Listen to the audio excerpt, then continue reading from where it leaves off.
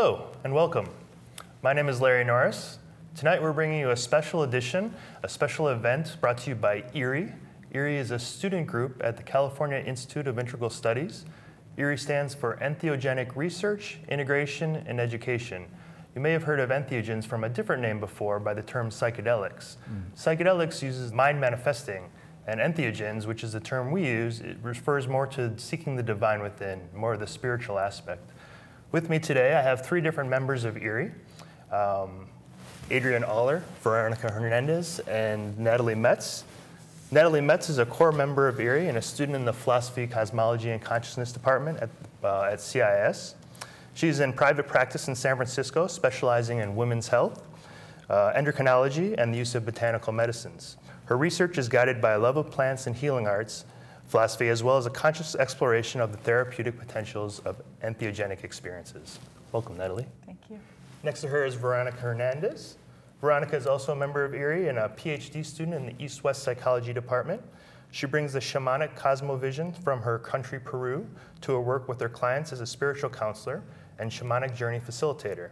Her interests are to promote personal growth and self discovery in people to create better relationships to themselves and the world. Welcome, Veronica. Thank you, Larry. And Sounds to my right cool. here, we have Adrian. Adrian is also a core member of ERIE and a doctoral student in the East West Psychology Department at CIIS as well. His research interests are in integral psychology, consciousness studies, psychedelic studies, and energy medicine. His particular focus uh, for his dissertation is on opiate addiction and its treatment with the entheogen ibogaine. Welcome, everybody. Hi, Larry. Hello. So I wonder, Veronica, could you tell me a little bit how about how your studies reflect, uh, or how the studies reflect your view of life? How yes. yeah. So, um, well, um, shamanism is my spiritual practice, and psychology is the profession I chose to do. I'm a therapist. So, in this PhD program in the East West uh, Psychology Department in CIIS, um, was an opportunity to bridge both practices psychotherapy, and spirituality.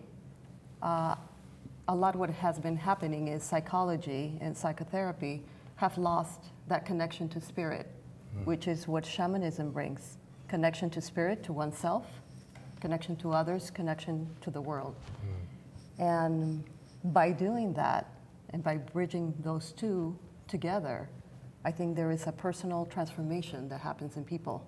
Mm.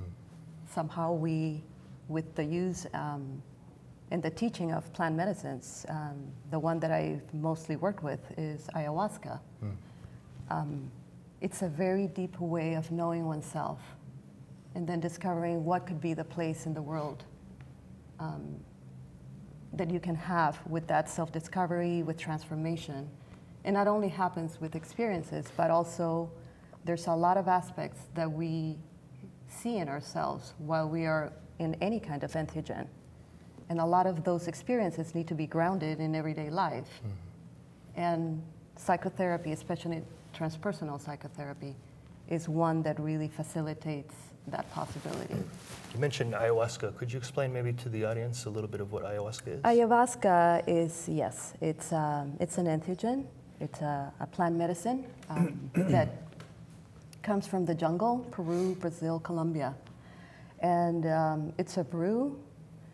It's um, been used in rituals. It's been used in many contexts. And the context that I've used ayahuasca has been through the Shipibo tradition, which is um, indigenous um, people in the jungles of Peru.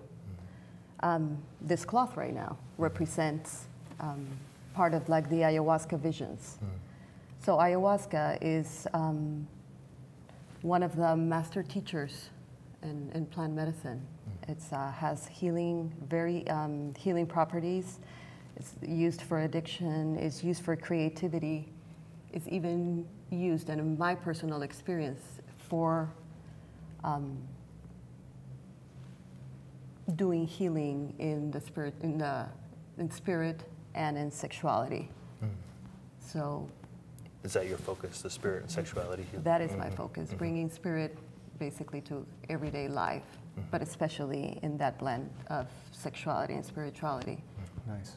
this seems to be a little bit different than more of the traditional um, ways of using ayahuasca. Could you talk a little bit about this, this, this, this sort of emerging, the merging of the sexuality and the spirituality you speak of? In more, um, what do you mean by more traditional? Um, Like um, traditionally, there's a, um, from what I understand, part of the dieta, for example, is Yeah. to, to have sexual abstinence before the actual journey space. So maybe could you talk a little bit about how sex works in, or sexuality works in relationship yes, to and, medicine? and what I was referring was m- mostly um, sexuality and spirituality. It's more as an energetic thing, not so much as the act of having sex. And yes, there are, um, in the, the Shipibo tradition, yes, there is a dieta, and one has to, you know, through foods, through certain foods, salt, caffeine, refraining from sex. And the explanation is one sometimes needs to keep their energy in order to release and heal and connect to oneself. And there is an expression, obviously, of, of sexuality. Um, ayahuasca, what brings is brings a sensuality and brings um, a connection to your body that can be expressed in connection and an, an erotic aspect, an erotic energy. Uh, we can choose to have sex. We can choose to create anything. We can choose choose to be connected. So it's it's all the the same energy. Well, thank you very much. Natalie, I'm wondering what attracted you to the entheogenic uh, research or the research that you're working with? Um, I will say that it actually attracted me um, in a way that I didn't even know would show up. I was uh, first really exposed to the world of um, entheogenic and psychedelic research while living in Santa Cruz a couple of years ago, um, meeting some people at a festival that worked for MAPS, which is the Multidisciplinary Association for Psychedelic Studies. And I just became very interested in what they were doing. and as I learned more about the organization, I came to understand that they are involved with funding research um, with clinical trials around the world for looking at the therapeutic value of different. They refer to them as psychedelics, but we might call them entheogens as well. Their primary, their primary focus is the use of MDMA for the treatment of PTSD, and they've got a variety of studies around the world um, showing the therapeutic benefit of MDMA therapy, assisted therapy for PTSD victims, primarily uh, veterans. and so that kind of caught my attention. Um, being a physician, I'm always interested in learning what can help people and different modes and methods of healing. And through just kind of casual conversation, I came upon MAPS. And so I started to do some of my own research and read up more on the topic and started volunteering with the organization and learning a bit about what they had to offer. And then CIIS came on my radar in a very strong way. And I learned about the Philosophy, Cosmology, and Consciousness program.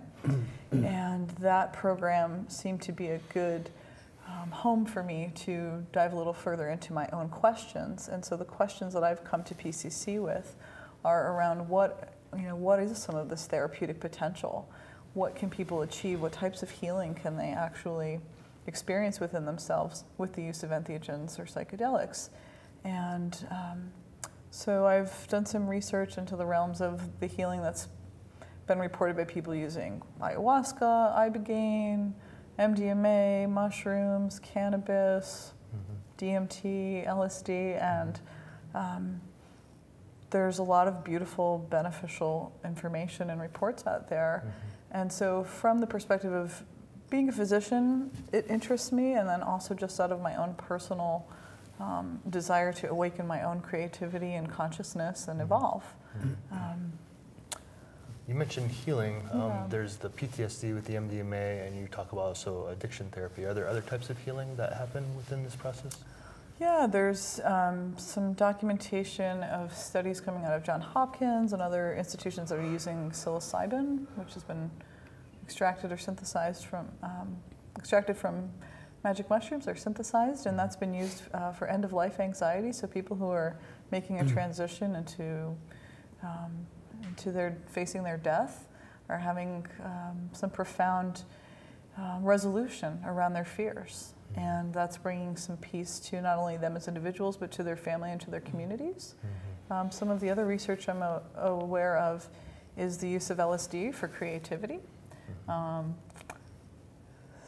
Jim Fadiman is mm-hmm. one of the people that helped to spearhead some of that research in the 1960s before it got shut down. And um, certain people say that things like the computer and the internet were born mm-hmm. out of that research. Mm-hmm. I've heard that before. um,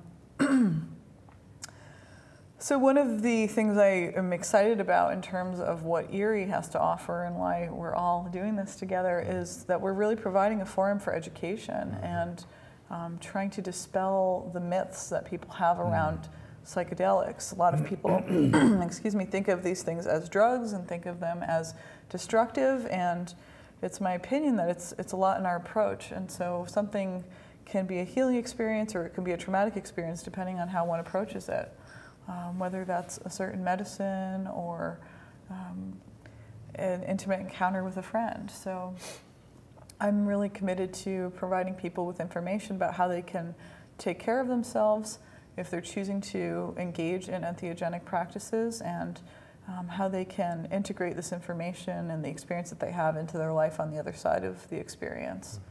So you're organizing a big event coming up soon. Would you like to briefly talk about sure. that? Sure. So this coming Monday, December 3rd, from 6 to 9 p.m.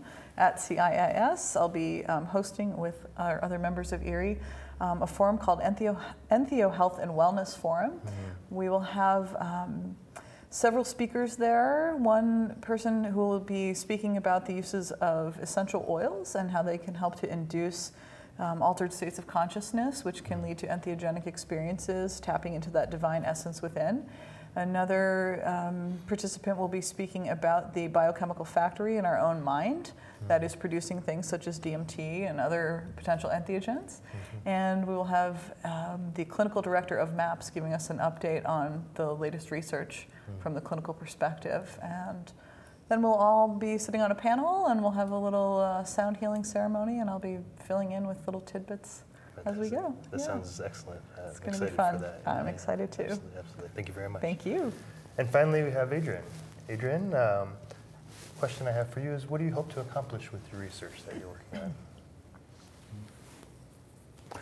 Well, Larry, my research has a very directed nature about it. Uh, my dissertation topic is specifically the treatment of opiate addiction with the entheogen ibogaine um, for the very simple reason that I was an opiate addict whose life was saved by ibogaine. Although, of course, I'm, I'm a Woodstock Nation kid, so I, I did a lot of journeying back in the day. I was not unfamiliar with uh, entheogens, although the term is relatively new for me, psychedelics, as I used to think of them. Um, in any case, uh, I had tried many things to escape my addiction and relapsed every time.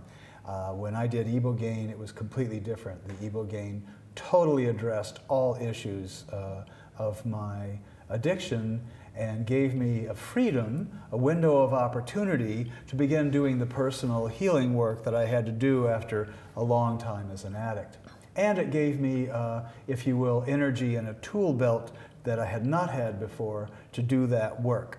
So uh, instead of relapsing, I now have uh, over 15 years clean and have done most of my academic track record uh, since that time. For those that don't know what ibogaine is or ibogaine is, could you explain that to them, please? Absolutely. Uh, most of the entheogens that we address today are from the New World. Uh, ibogaine is the only um, African entheogen that I know of. It is the plant medicine of the Bwiti cult of the Fang peoples who migrated in the second Bantu expansion from uh, northern Chad, where they used to be, to Gabon and Cameroon, where they are today. So they're deep jungle people. And when they wanted to know how to live in the jungle, they went to the jungle masters, the pygmies, and asked them, How do you live here? And the pygmies said, Chew this root and you will see. Ibogaine, unlike all other uh, entheogens, is taken from the root of a shrub in the ground. Most of all the other entheogens uh, live and grow above ground in the air and the sunlight. So it is my speculation that uh, because ibogaine comes from the root of a plant and it's in the ground and uh, addiction takes you down into the plutonic realms, then it, that's why it's most uh, effective for the treatment of opiate addiction. Um, however, most people, well, some people go to Gabon to chew the root, uh, as the as the Bwiti natives do. But uh, most of the treatment in the West with ibogaine uh, is from purified ibogaine hydrochloride. It's an alkaloid taken from the plant and produced into crystals that can be put in a capsule. So back to the original question of um, what do you hope to accomplish with the research that you're doing right now? Well, a, a very obvious and immediate thing is uh, ibogaine, like all other uh, entheogens, is illegal in the United States, but it's so beneficial for addicts that um, I would like to do what I can to advance the cause of entering ibogaine into the American Pharmacopoeia, so it's legal and, and uh, could be used in what I envision as uh, inpatient locked ward treatment, uh, but that would make it uh, available to be paid for as a treatment by insurance, which would suddenly make this uh, the treatment with this substance within the, the possibility of many addicts because the alternative is you have to leave the country travel some distance go someplace else and spend thousands of dollars which of course most addicts don't have. So i would like to get it uh, legalized but of course that means expanding the awareness and the understanding of the nature of this medicine and its possible uses in the minds of, well, the governing officials, the authorities in the government and the legal mm-hmm. system, but also the uh, awareness of the public at large. Mm-hmm. Mm-hmm. Fantastic. Um, and I, to give a little bit of background of where I come from, um, my research is in ayahuasca as well, um, but I'm specifically focusing on the visual aspect of ayahuasca. Uh, I'm looking into uh, what's called virtual reality scenes, which are um, very dynamic, active, interacting scenes that uh, the, the drinker goes through uh, for healing and spiritual growth. Um, but I think since we're all here and we're all talking about it's coming from so many different areas, I think it would be really fascinating to just have a little dialogue about uh, what we believe how we see these entheogens as agents of transformation as we move on. And um, just kind of throw that out to anyone that'd like to take that. I, um, on a personal level, and working with people and helping them integrate their experiences, experiences done obviously for the same reasons of illegality here in the country. A lot of experiences are done outside of the United States. And, mm-hmm. you know, Peru is one of the places that people go and um, can drink ayahuasca and other medicines. Um, I think those medicines help people view the world and themselves from a very different um, paradigm than the one that is right now happening, where is a world very disconnected, very individualistic, and um, it's the loss of soul and spirit mm-hmm. and the connection to nature, the connection to each other mm-hmm. in different ways. It's almost like we need to bring back a communal aspect. And as part of, of nature as well. I think this, these medicines are the ones that give us an opportunity mm-hmm. and also like um, what Adrian was saying, we need to do the personal work mm-hmm. to bring those experiences in our everyday life to really change and have a different paradigm mm-hmm. or consciousness. Mm-hmm. We need it. Nelly, what do you think?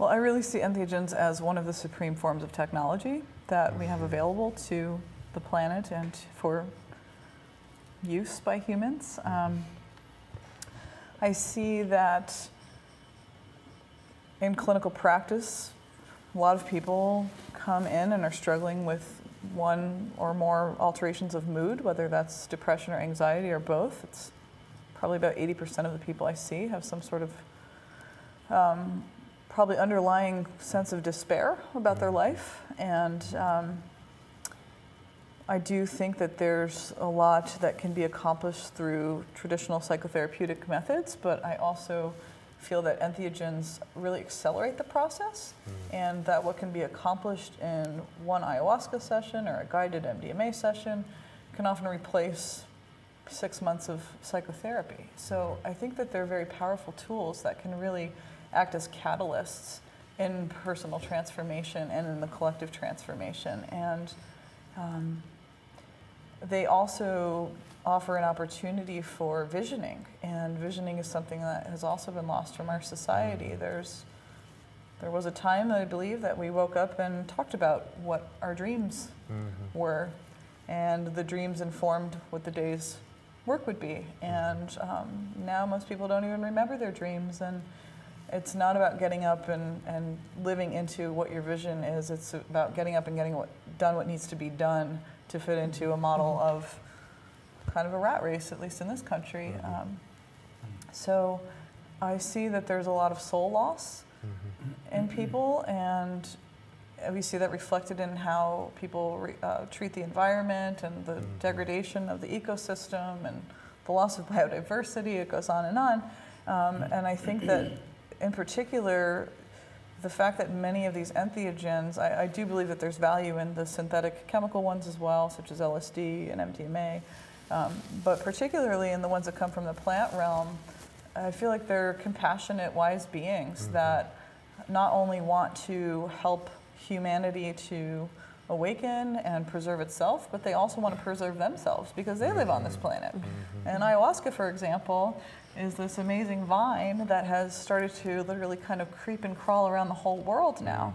Mm-hmm. Um, with its discovery by the West in the 1850s by Schultz and the ethnobotanists, um, in you know the past 160 years, it's just kind of exploded into consciousness around the world, particularly in the past 30 or 40 years. And so my my perspective is that ayahuasca itself wants to live in Hawaii. Mm-hmm. Why not? Mm-hmm. So now it's growing there, mm-hmm. and with I believe a compassionate spirit of love for the whole of humanity and the whole of the planet and for its own self-preservation as well. So. Mm-hmm. I've heard many times the idea that uh, ayahuasca wants to be heard, and so it's it's coming out and, and expressing itself through uh, the humans that are, are, are working with her, you know, yeah. and um, yeah, so really interesting. Um, how about you, Adrian? How do you feel about entheogens in relationship to transformation in this era?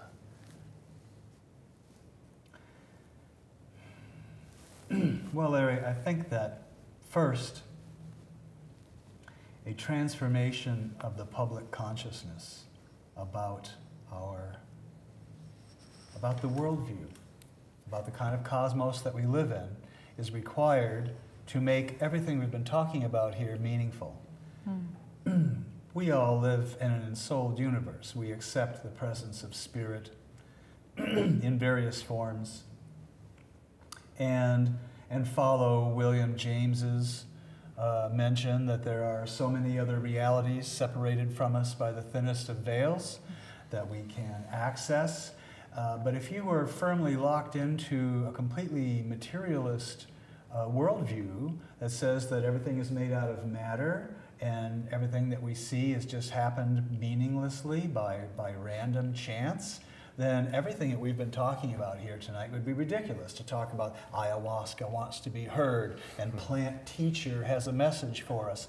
That's meaningful for us, uh, but we are united in this worldview. Mm-hmm. And partly, I imagine, because of our own personal experiences with entheogens, who, uh, which can offer a vision of an alternate possible reality.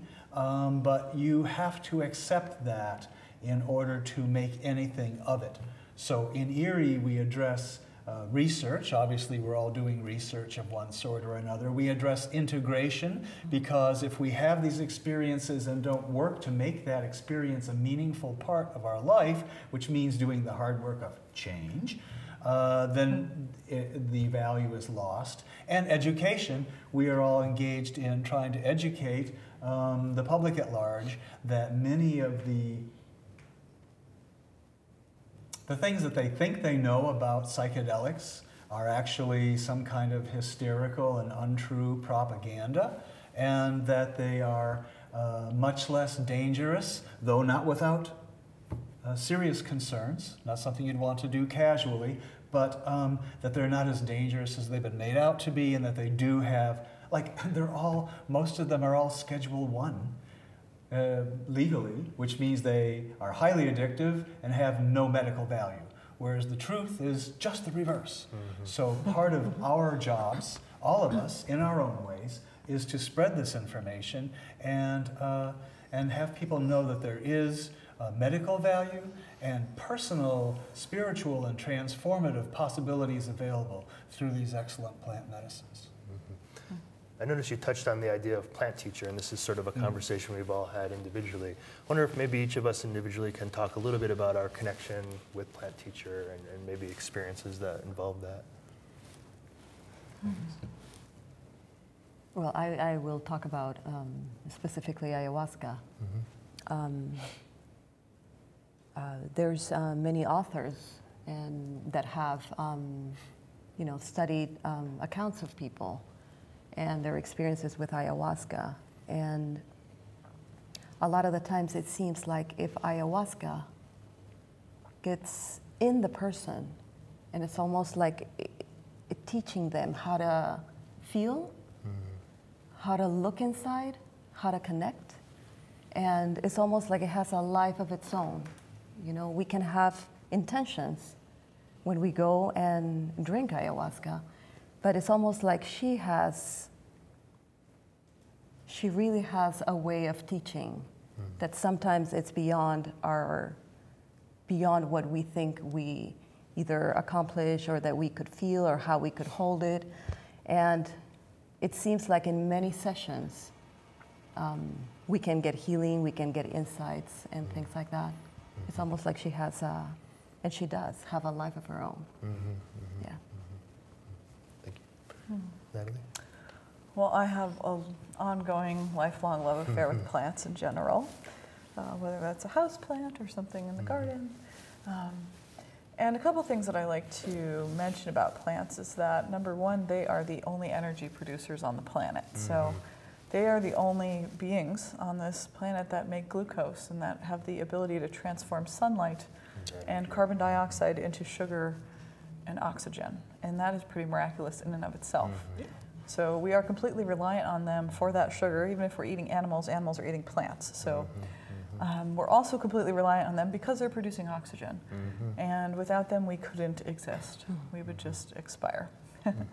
So, those are two kind of biochemical reasons why I love plants. Mm-hmm. Um, I've also been studying herbalism for over 10 years, and I'm extremely passionate about the use of plants in a healing arts practice. And so, I use um, plants for their pharmacological actions, for their physiological properties, and also for their spiritual dimensions. Very often, when I'm custom formulating um, a remedy for a patient, I will include a few drops of a certain plant because of its energy and its spirit. And mm. so, um, plants can be teachers in that way, used for medicinal aspects, and obviously the entheogens. Um, can be teachers on such a grand level. Mm-hmm. Um, ayahuasca certainly comes to mind um, in my experience being a teacher about nurturing mm-hmm. and self care and nourishment. I've described ayahuasca as being held in the arms of the Divine Mother. Mm-hmm. Um, and I believe each one of them has their unique way mm-hmm. of um, being a teacher and considering where a plant grows, what its morphology is like, what um, conditions it likes to live in, can give clues to how that plant can help one to unearth and deal with things in their own psyche and their own body and their own consciousness. So, whether it's using an above ground portion or the root, as Adrian referred to, um, there's a lot to learn. Mm-hmm. Um, for someone with a, such a wide range of knowledge about plants, do you find that certain plants have, uh, you hear this often about certain plants having personalities or certain archetypes that are specific to those plants? Could you talk a little about that? Yeah, absolutely. There's um, a concept in the realm of herbalism called the doctrine of signatures, which hmm. refers back to uh, what I was just saying about a plant will often present in its shape and where it lives what it might be good for. Hmm. And um, all of my teachers in the realm of herbalism have said if you want to learn about the plants, go and be with the plants. Mm. So, this concept that the plants themselves will communicate with you, and people who have studied this in more depth really believe that the communication that happens between plants and people is on an empathic nature, that we will often, often get impressions of um, an emotive quality. So, there may be feelings or emotions that come up in the presence of a plant, whether ingesting it or just simply sitting with it versus working with animals tends to be more of a telepathic or mental mm. aspect to it. Um, so, in my experience, they've been teachers on all levels, whether it's something that I'm ingesting for a medicinal or entheogenic purpose, or whether it's sitting and admiring a rose. Mm-hmm. Absolutely. Yeah. Thank you. Sure. Adrian, have you had any experiences with Plant Teacher? Well, sure. Um, when I initially went and, and took uh, Ibogaine uh, for my addiction, I was uh, pretty far gone. I was almost dead, which means that I had been effectively dead as a human being for at least the preceding decade, walking around as a kind of a white zombie. Um, and most of the other people, I had the opportunity to speak to at least 20 or 30 other people who uh, were treated at the same place uh, afterwards and get there uh, to compare notes. And uh, all, virtually everybody that said they had a good experience all agreed that they also, as I did, had a clear and distinct impression that there was another consciousness present within us, uh, a non human vegetal consciousness, another entity that, that had entered us when we took the medicine um, and in this case, plant teacher became plant doctor mm-hmm. and looked around and did a diagnosis and prescribed a certain experience for each of us. That's um, a feature of entheogens that you don't always have the same experience, even if you're the same person taking the same substance and the same dose on two different occasions the, the, you know, the way you are different between one occasion and the next will produce a different experience. So here we were, a variety of different people from different backgrounds. Uh, we all had the same problem that was being treated. Uh, but we had different experiences, but there were certain things in common. And one of them was the sense of the presence of another, another non human, not me entity mm. that was in me during the course uh, of taking this. And I will say that in the case of Ibogaine, it has very long lasting after effects, uh, which is valuable because one reason it's hard to break out of addiction is that you're so locked into a regimented way of thinking uh, about the world and behaving. This is what the AA folks call stinking thinking. You just, it's impossible to think your way out of it. Um, so, uh, in my case, even though on the one hand I felt that, that the Ibogaine had really addressed all the aspects of my addiction. And uh, they were all held in abeyance for a period of time while the long, uh, the lingering after effects of the treatment were present. Eventually, they would go away, and if I had not established a new way of being in the world and thinking and feeling in that time frame, then I could relapse ultimately mm. when it wore off. Uh, so, but I had an extended period of many weeks where I was very flexible and open to, to change, to taking suggestions and doing all of that. Uh, so uh, I just, th- everybody that I saw that came back from the island, well, where we had to go to take this, uh, and was glowing and saying, I had a great experience, all agreed that they too experienced the presence of this other entity. So that's what I mean when I say plant teacher. Mm-hmm. I took a lot of LSD when I was a hippie, and there was never that sense of a separate entity. Mm-hmm. Uh, there were many, there were commonalities of effect, but there was not that. So mm-hmm. I think that the plant teacher is, is associated with the plants, right? Mm-hmm. As Natalie said, uh, they all have their own something to give you special, you know, and they know what it is. It's mm-hmm. up to us to find it out. Mm-hmm. And plants have a history of use in every culture mm-hmm. around the world. Every culture has a tradition of using plants for healing and divination mm-hmm. and medicine. And um, the birth of pharmaceuticals in the past hundred years that's really kind of taken over modern medicine is very new. And many of them are even der- derived from plants. But the tradition of using plants as medicine is, in all varieties of contexts, is ancient and uh, will hopefully live in, well into the future. Yeah. Sure, yeah, absolutely. Well, thank you very much, Adrian Aller, Veronica Hernandez, and Natalie Metz. And thank you, folks. Have a wonderful evening. And uh, if you're ever around CIIS, check out ERIE, Entheogenic Research, Integration, and Education. Our website is www.erievision.org. Thank you and good night.